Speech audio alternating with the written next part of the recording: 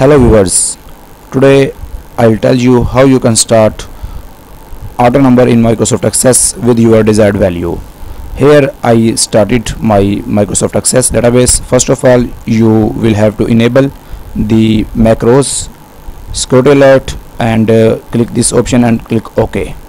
First of all, I create a table ID and auto number and first name F name as a text it is a primary key and now save it.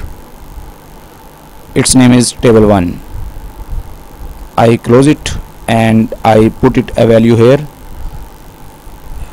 You see that the auto number starts from 1 and it increase by 1 by 1 but if you want to start this number from your desired value just follow this method. Close this table and create a query. Design query close it and go to SQL view.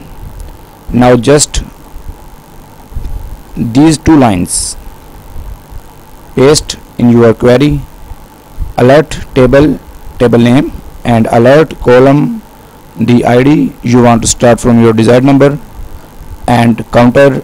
It is the number 1000 from where I want to start my auto number. And this is 1 it is the value by which it increase.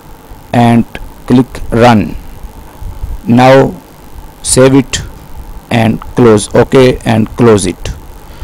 Now we again go to our table 1 and here I write my name. And you look that it start from 1000 now you start now you see that it increased by 1 now if you want to increase this value by 2 or 3 or any of your desired value just close it and go to your query. Design view. And here you can write 1025 and here you write 5 it means that the number will start from 1025 and it will increase by 5 each time. Now run and close it. Yes. Now go to table 1 and see what happens.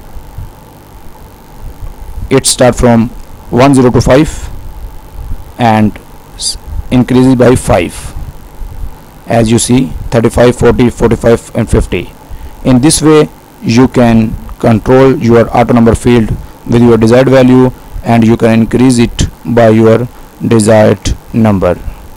Thanks for watching